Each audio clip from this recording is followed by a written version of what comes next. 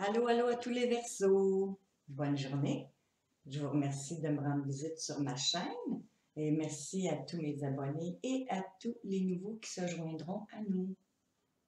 Alors aujourd'hui, je fais euh, le tirage général pour les Verseaux pour le mois d'avril 2019. Alors maintenant, on va euh, regarder les cartes sur lesquelles j'ai médité, les cartes qui ont sorti pour votre tirage. Je vais dire avant de commencer euh, ma lecture que les signes astrologiques qui peuvent euh, vivre cette situation-là avec vous sont les signes de terre, les taureaux, capricorne et vierge. Il y a aussi euh, le scorpion, le cancer, le poisson ou la balance, ici la reine de Denis qui est représentée par le signe de la balance. Alors, voyons voir qu'est-ce que le message veut nous raconter. On voit ici que le pourquoi dans lequel vous vivez ça finalement au mois d'avril, on voit la reine d'épée. Si je vous la montre, elle est renversée la reine d'épée qui habituellement, euh, quand elle est à l'endroit, quand la carte est à l'endroit, voyez-vous, c'est une personne qui est sûre d'elle. C'est un esprit vraiment vif. C'est quelqu'un qui cherche la vérité, euh, qui cherche la justice. C'est quelqu'un qui est loyal et puis que euh, elle sait analyser les situations. Elle est très bonne dans la communication. Alors là, la carte est renversée ce qui, me fait dire que, euh, étant donné que vous êtes les versos un signe d'air, ça peut aussi vous représenter, mais renverser. Donc, toutes les qualités que je viens de dire, c'est soit une personne de votre entourage qui a ces particularités-là, ou c'est vous qui les avez en tant que signe d'air, mais la carte est renversée. Donc, on voit ici que une personne euh, s'est refermée en quelque part dans la communication. ok? C'est une personne euh, aussi qui euh, a eu beaucoup d'épreuves dans la vie. C'est une personne qui a surmonté ses épreuves, mais vraiment, c'est une personne qui a, a, vécu beaucoup de choses. ok? Ça peut être une personne aussi qui est divorcée.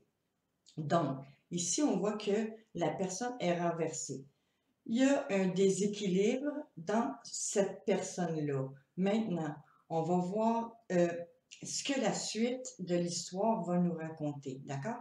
Alors ici, en entrant dans le mois d'avril, on voit avec le 9 de coupe renversé qu'il y a eu ou qu'il y a encore une insatisfaction du côté émotionnel, OK? Les coupes qui représentent tout ce qui est émotionnel, tout ce qui est sentiment, euh, partage de sentiments, tout ce qui représente l'eau, les relations, euh, ça représente la sensibilité, l'amour. OK? Ça représente tout ça, les coups. Alors ici, le 9 de coups, c'est comme s'il y a une réalisation, en tout cas, au point de vue émotionnel, qui n'a pas été atteint. Maintenant, la prochaine carte, la carte qui est le centre de votre tirage, c'est le 7 d'épée renversé. Je vous la montre. Je vous la montre à l'endroit pour que vous puissiez voir l'image. Alors, la carte est renversée. Cette carte-là représente un peu les énergies dans lesquelles vous allez vivre euh, au mois d'avril, cette situation-là qui se présente à vous et qui est peut-être déjà commencé, là. Je dis peut-être, mais je pense que oui. Euh, alors, c'est le 7 d'épée. Comme vous le voyez, le 7 d'épée ici, c'est une personne qui regrette. Quand elle est à l'endroit, on voit une personne qui s'en va, c'est comme si la personne, elle aurait fait quelque chose, pas nécessairement de mal, mais quelque chose à laquelle elle n'est pas fière ou... Euh, et puis, euh, c'est comme si elle s'en va sans que personne ne la voit. Elle veut s'en aller sans que personne ne la voie. Mais dans votre tirage, la carte est renversée. Donc, on voit que la personne qui a fait ce geste-là, qui n'était pas un geste peut-être qui allait euh, vers le mieux-être, en tout cas de quelqu'un d'autre, on voit que la personne a des regrets, hein, parce que la carte est renversée. Donc ici, on pourrait dire, je pourrais dire que euh, il y a une personne ici qui est déséquilibrée dans une situation ou un événement qui peut être un signe qui n'a pas été satisfait émotionnellement par une décision qui a été prise peut-être avec, avec quelqu'un d'autre, on va voir, mais euh, qui a des regrets dans le cœur, d'accord? Elle songe peut-être à offrir des excuses à quelqu'un euh, qu'elle a blessé ou que quelqu'un vous a blessé et que peut-être la personne commence à réfléchir à la façon dont euh, elle pourrait se faire pardonner. On va, dire ça comme ça. Maintenant, ça peut être vice et versa, comme je le dis. Hein. il y a juste vous qui, puissiez savoir si ça vient de vous ou si c'est l'autre personne ou les autres personnes qui vivent ça avec vous. Là. Question de sentiment, là. qui vit quoi, ça c'est vous qui le savez dans votre situation. Alors ici, on voit qu'il y a quelqu'un qui a des regrets. Hein. Il y a eu une déception face à une insatisfaction émotionnelle et puis qui, peut-être veut offrir ses excuses ou aimerait recevoir des excuses. Maintenant, dans votre défi, qu'est-ce que je vois? Je vois le 5 de denier et le valet de coupe. Je vous les montre comme elles se sont présentées. Alors, qu'est-ce que ça représente? C'est un défi. Le 5 de denier, on voit ici, c'est la carte qui représente l'abandon. OK? C'est comme euh, le rejet, quelqu'un qui se sent rejeté. Alors, la carte est renversée. Donc, est-ce que vous vous êtes senti rejeté dans une relation amicale, amoureuse, collègue de travail, peu importe, avec une personne avec qui vous souhaitiez vraiment euh, réaliser un objectif commun et puis que ça n'a pas été satisfait émotivement et puis que euh, vous vous êtes senti peut-être rejeté ou abandonné ou mis de côté par cette personne-là ou vous avez fait vivre ces sentiments-là à quelqu'un d'autre. Alors, on voit ici que c'est dans votre défi. Et puis, c'est accompagné par le valet de coupe. Le valet de coupe, qu'est-ce qu'il fait, lui? Comme je l'ai dit tantôt, les couples, c'est tout ce qui représente les échanges de sentiments, les échanges d'amour. Hein. L'amour, c'est aussi l'amitié. Euh, ça représente tout ce qui est euh, euh, sensibilité, l'intuitif, le côté intuitif. OK, d'accord? C'est tout ce qui est aussi relationnel. Donc, ici, le valet, lui, c'est le messager. C'est celui qui apporte une nouvelle. Donc, dans cette situation de rejet-là où il y a eu une déception, on me dit que euh, peut-être vous attendez une offre, vous attendez que quelqu'un vous approche pour vous donner euh, sa version des choses et peut-être pour se faire pardonner quelque chose qu'il vous a fait et qui vous a euh, rendu insatisfait ici du côté émotionnel. D'accord? Ça peut être la personne qui vit ça avec vous ou vous qui viviez ça avec la personne. Mais ici, on voit qu'il y a un sentiment de rejet. Il y a quelqu'un qui se sent rejeté et qui attend l'offre de quelqu'un d'autre. D'accord? Ça, c'est dans le défi. Donc, vous devez travailler sur cet événement-là. Maintenant, on voit ici que vous vous en faites avec ce qui s'est passé, parce que les épées représentent tout ce qui est intellect, analyse, tout ce qui est, euh, tout ce qui est les pensées, les défis mentaux qu'on se donne et, les conflits mentaux euh, qui se passent en nous entre euh, comme deux voix qui se parlent et qui s'obstinent. Hein.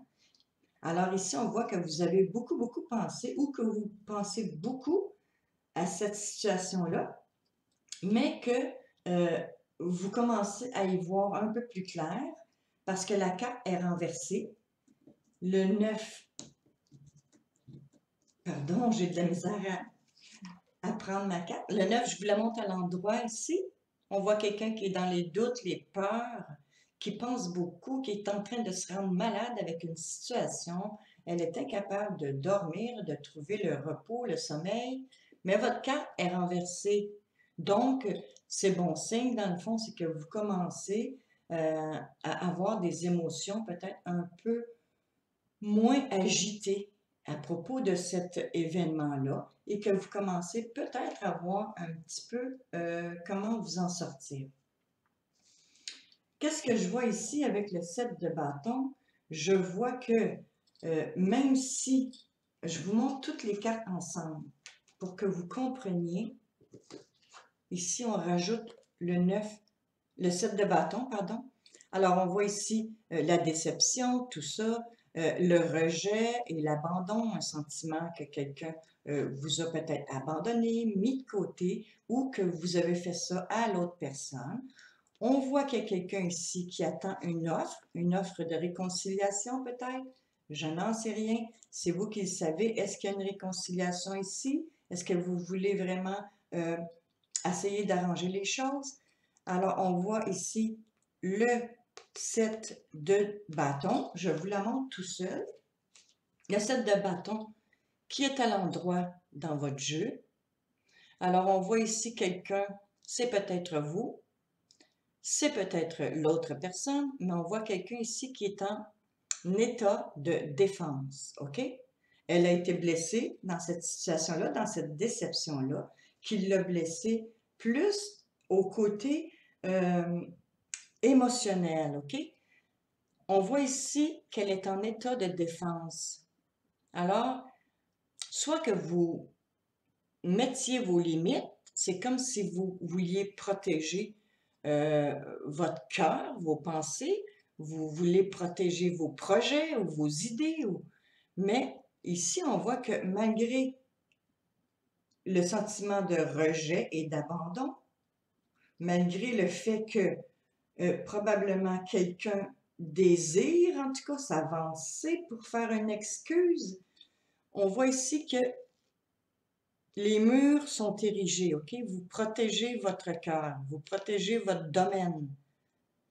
Mais si vous voulez y arriver, peut-être à ce pardon-là, peut-être à cette, euh, cette excuse-là qui doit avoir lieu entre vous et une autre personne, Ici, on voit que vous ne laissez pas entrer n'importe qui, d'accord?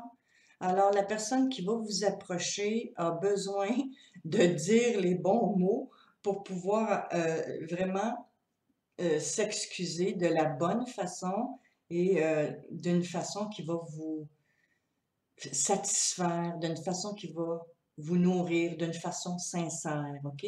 Sinon, on voit que vous ne laisserez pas tomber vos barrières.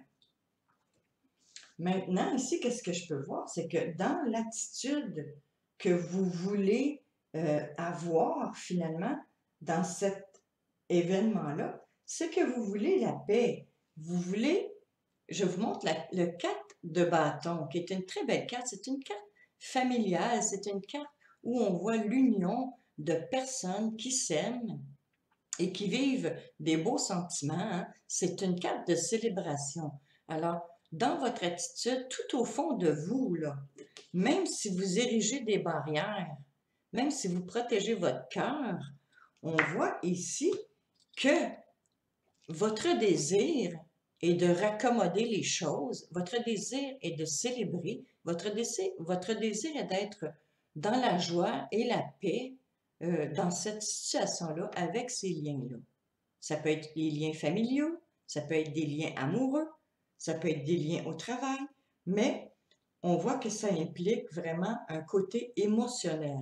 Il y a quelque chose qui s'est passé qui euh, a bousculé vos émotions. D'accord? Ça peut être quelqu'un qui a dit une parole euh, que vous n'avez pas aimée. Ça peut être quelqu'un qui a agi d'une façon un peu peut-être narcissique, qui s'est montré supérieur à vous et puis qui vous a blessé, mais à l'intérieur, OK?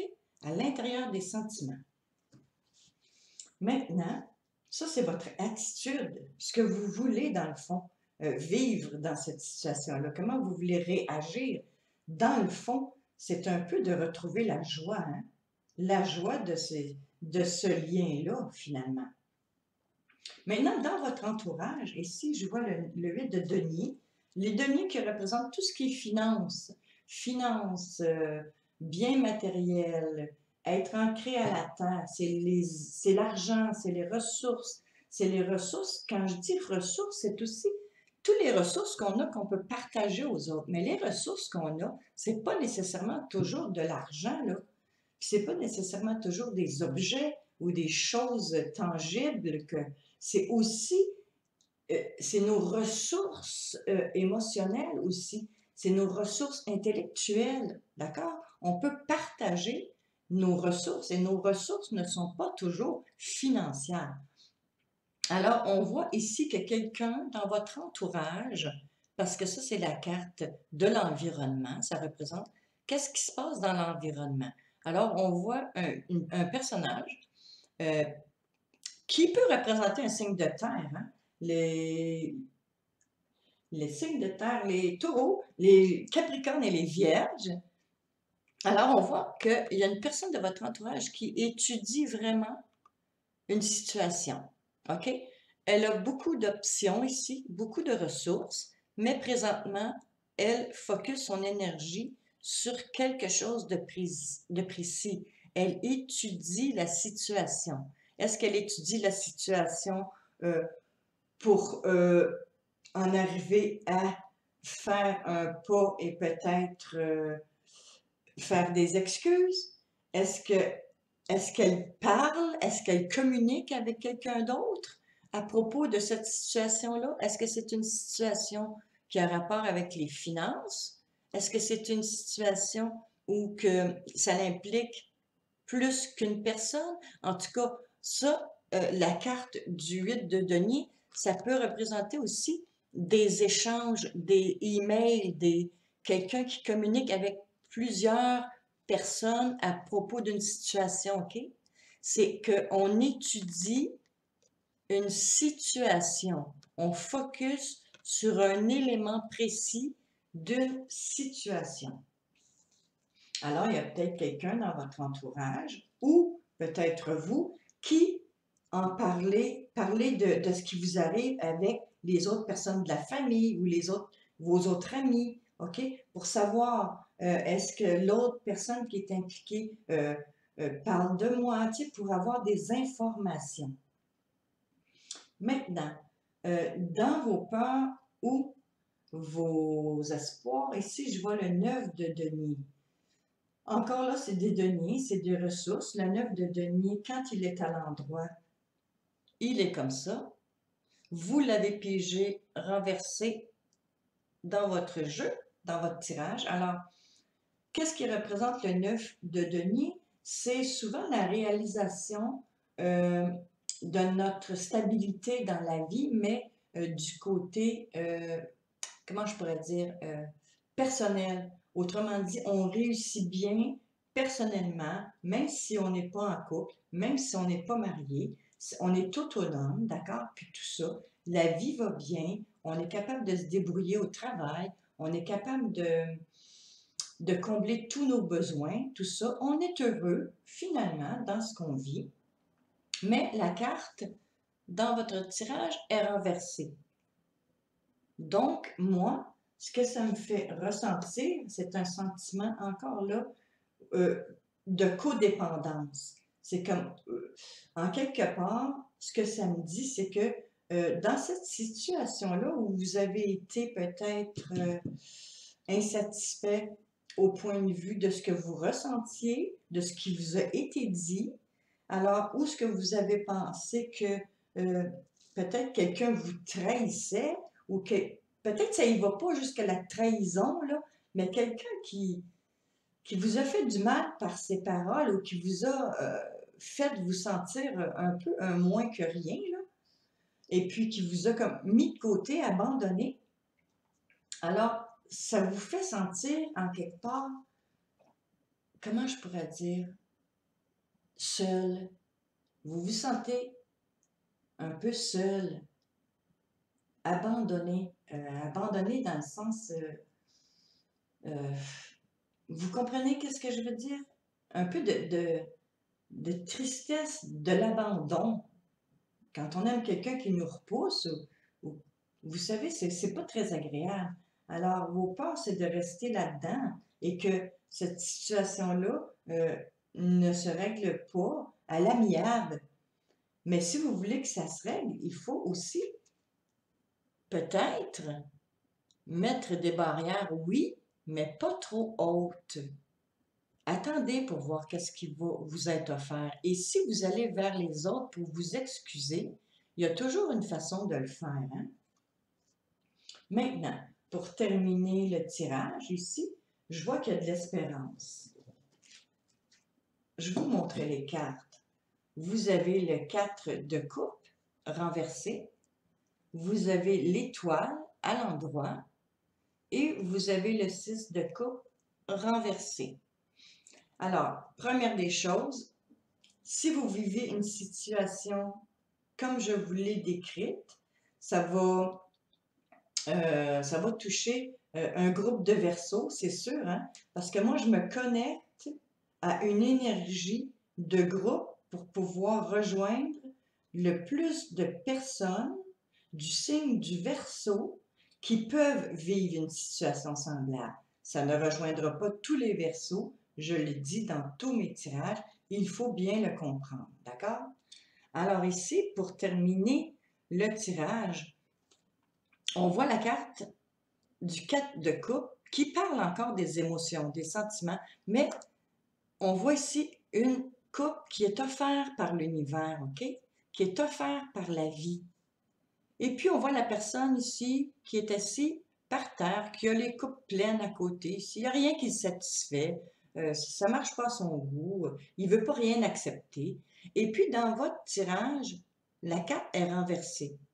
Donc, vous avez eu une occasion à quelque part. Il y a quelque chose qui vous a été offert à quelque part et que vous n'avez pas été satisfait de ce que vous avez ressenti dans ce qui vous a été offert ou dans ce qui vous a été dit. Alors, on voit ici que la carte est à l'envers.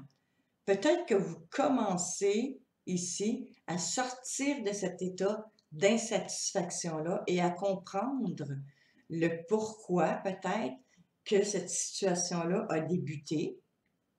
On voit ici l'espoir. Alors, l'espoir, c'est notre bonne étoile.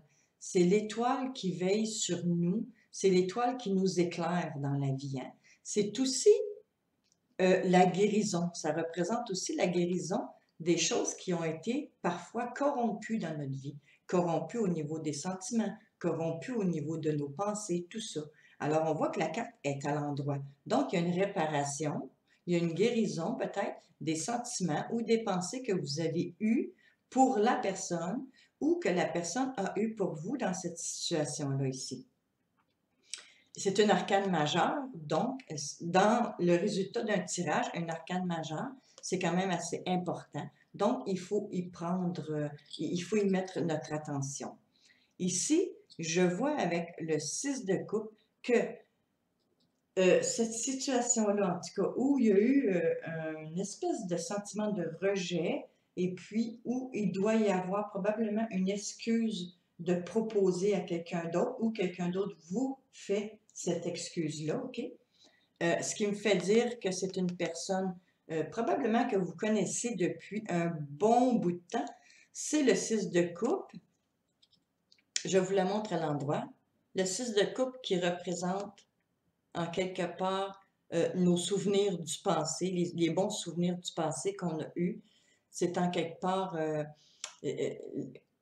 des joies qu'on a eues avec des personnes vraiment où on avait un lien vraiment intime, joyeux. Ça peut être aussi représenter une âme sœur, hein, quelqu'un avec qui vraiment on a un lien profond, avec qui on peut tout dire, tout raconter et avec qui on n'est pas jugé. Donc, cette carte-là dans votre tirage est renversée. Donc, ce qui me fait dire que cette personne-là, c'est pas une nouvelle personne là, euh, qui, qui arrive dans votre vie comme ça. C'est quelqu'un que vous connaissiez, d'accord? Et donc, que peut-être ce qui s'est passé vous a blessé un peu plus profondément. Parce que une personne nouvelle qui nous dit quelque chose qui nous blesse un peu émotionnellement, on n'en tient pas compte, on s'éloigne.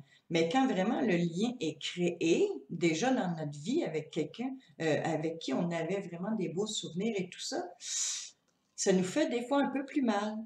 Alors ici, on vous dit qu'il y a une guérison à faire et que probablement il y a un, d'après ce que je peux voir, vraiment il y a quelqu'un qui doit s'avancer pour présenter des excuses. D'accord? Si je regarde les cartes, est-ce que je vois autre chose? Euh, ici, il y a vraiment des communications, on voit, dans l'entourage. Peut-être que vous recevrez aussi euh, beaucoup de mouvements dans vos emails, tout ça, vos communications, vos téléphones.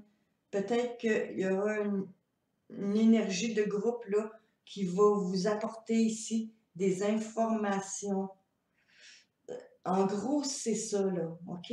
Faites attention pour ne pas vous sentir trop non plus, trop rejeté, si c'est vous qui avez été rejeté, là. Travaillez là-dessus, sur votre équilibre.